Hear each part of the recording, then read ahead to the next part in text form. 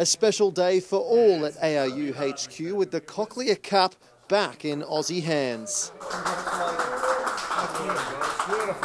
It's a great acknowledgement for the team uh, and a very, very special moment indeed uh, for recognition of the deaf, deaf community uh, and all the boys that have put in a fantastic effort. The Australian deaf rugby team knocking off the Deaf Blacks in Christchurch to bring home the silverware, but it nearly didn't eventuate, with the squad severely depleted through injury. We ended up with the bare 15 players uh, there.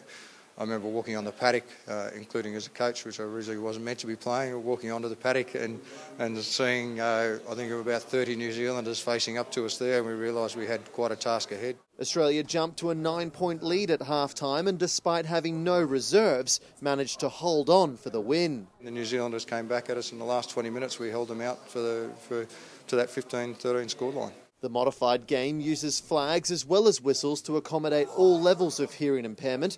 Next, for our Aussie champions, the Deaf Games in Adelaide before a possible matchup with the USA and Cuba. The United States and Cuba are bringing together uh, relations and they're opening up borders, and part of that they're bringing, uh, asking for sides to go across and play as a tournament over there.